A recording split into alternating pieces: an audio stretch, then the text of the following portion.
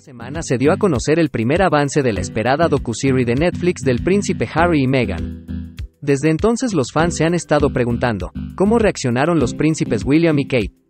El tráiler se lanzó justamente cuando los príncipes de Gales comenzaron su visita a Estados Unidos, la primera al país en ocho años. Ahora, la editora en temas reales de la revista Hello, Emily Nash, dijo que William y Kate tendrán preocupaciones sobre lo que se mostrará en el proyecto de Netflix. Creo que todos en el equipo de los príncipes de Gales están muy enfocados en el evento Earthshot. Esa es la razón principal por lo que están en Estados Unidos y algo en lo que han trabajado por 18 meses, dijo Nash. Así que estarán muy decepcionados al ver que la atención se va hacia otro lado en ese momento. Estoy segura de que habrá preocupaciones sobre lo que se verá en el documental, continuó. Nash agregó que, sin embargo, William y Kate seguramente lidiarán con el asunto y se mantendrán firmes a sus compromisos reales.